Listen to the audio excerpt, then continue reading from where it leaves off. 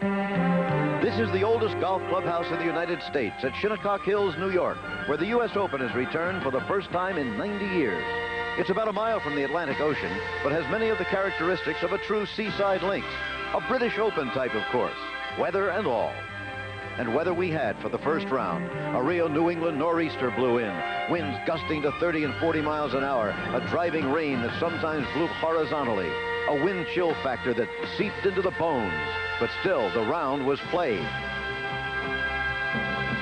And it was Bob Tway, a young touring pro out of Oklahoma, winner of the Westchester tournament just last week, who held steady all the way, making this par putt on 18 for the only even par round of the day. He was an impressive leader.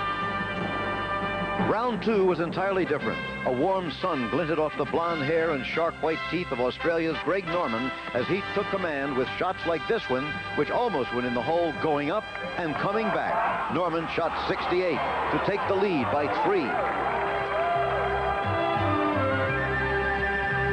But a familiar flamboyant figure was stalking the great white shark. Lee Trevino, twice winner of the title, most recently 15 years ago at Merion, checked in with this putt at the final hole.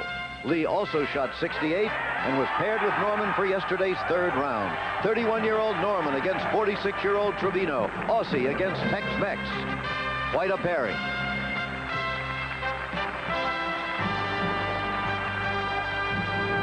In the early going yesterday, Norman had a couple of chances to crumble, but he didn't.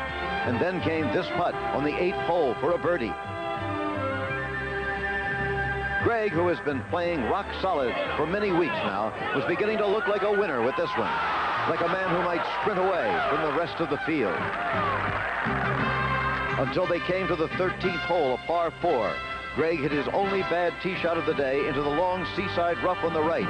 An extremely firm shot was needed and Greg hit it firm enough, all right. In fact, he caught it flush and sent it over the green and down the hill into some devilish berry bushes and long rough.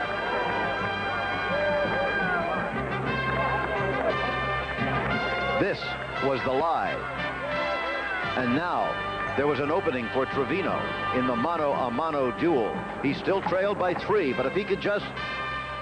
And as you'll see, he did a near perfect shot that ended up close enough for an easy birdie three. The crowd roared for Lee. Then Norman had to play from the deep rough with a restricted backswing. He did as well as he could, but still the ball ran across the green and off into the short rough. It took three more to get down from there, and the three-stroke lead had disappeared. Meanwhile, Hal Sutton, the former PGA champion, had caught fire.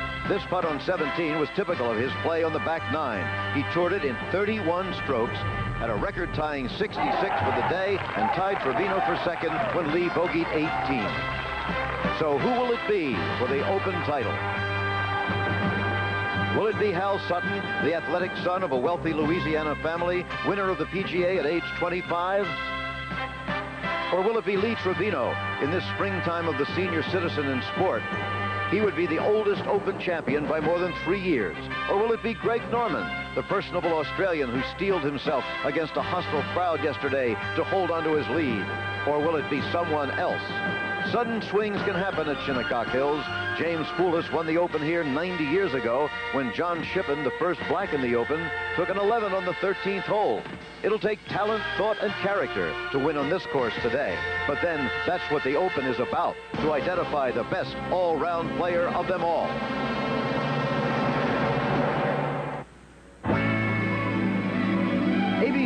And the United States Golf Association invite you to the playing of the final round of the 86th U.S. Open Golf Championship.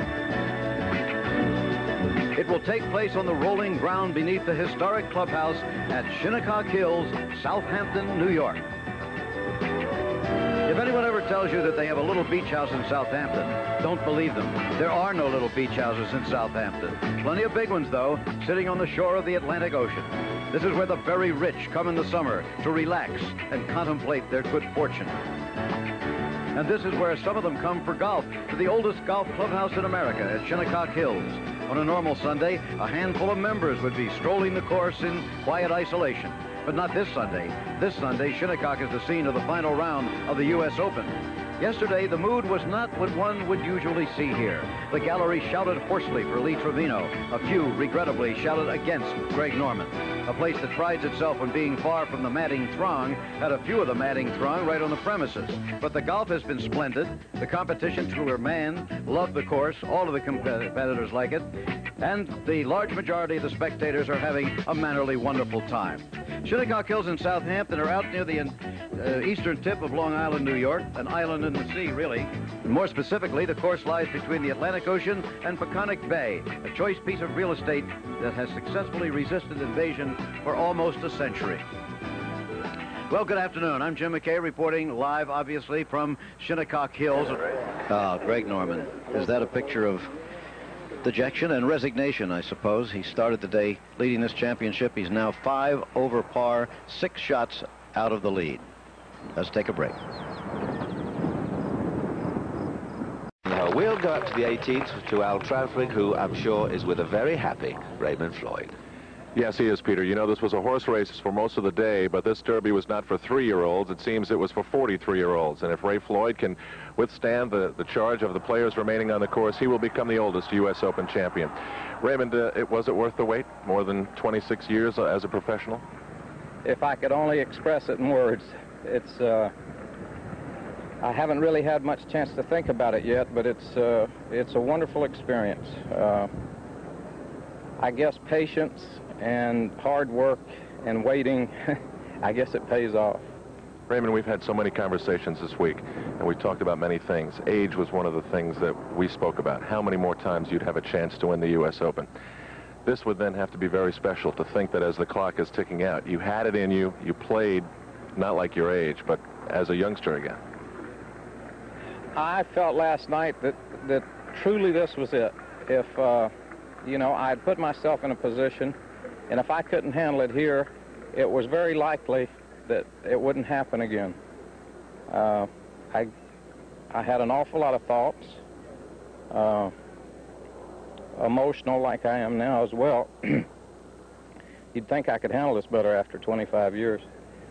Uh, but realistically, I just felt that today I had to do it. It was uh, probably my last chance. Maybe not, but probably. And uh, I'm, I'm just tickled to death. Were you aware of how confusing a day it was, how tight things were? Uh, all the players involved, were you checking the scoreboard? Well, you can't help but check scoreboards. They're out there. Uh, they're very visible. Uh, and you can't help but look. I've told myself a hundred times, don't worry about the scoreboard. Go play your game, use your game plan, do what you know you can do, things will take care of themselves. And uh, you can't not look at the board. You look up and there's a couple birdies, and uh, if you're not careful, you'll go shooting at a flag that you know you shoot you shouldn't shoot at. Fortunately, today I never deviated. I, pl I played exactly the way I had uh, intended. I hit, uh, realistically, I think I hit uh, two bad golf shots all day. I played wonderful. I didn't really putt well, but I putted well enough, and uh, I don't know. I don't know what I'm supposed. I don't know what I can say.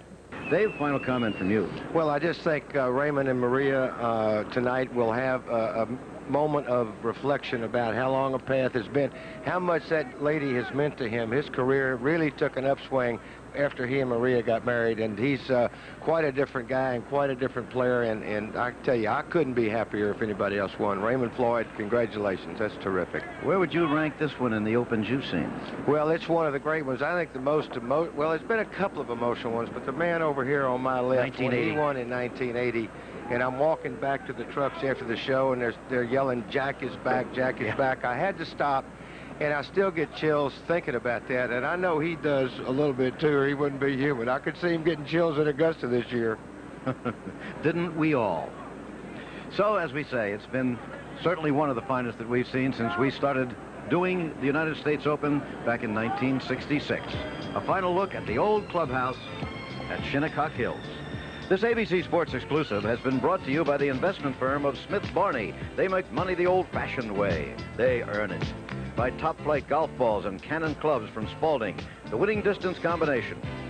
By Michelin, Michelin, because so much is riding on your tires. And by L.A. Beer from Anheuser-Busch, the cool way to kill a hot thirst. The U.S. Open was produced by Chuck Howard. and it was directed by Terry Jastrow, Jim Jeanette, and Bob Goodrich. Our technical directors were Werner Gunther, Gary Larkin, Les Weiss, and Chet Mazarek. Our associate producers, Joel Feld, Jack Graham, and Ben Harvey. The associate directors, Rob Miner, Jeff Cohan, and Robert Cowan.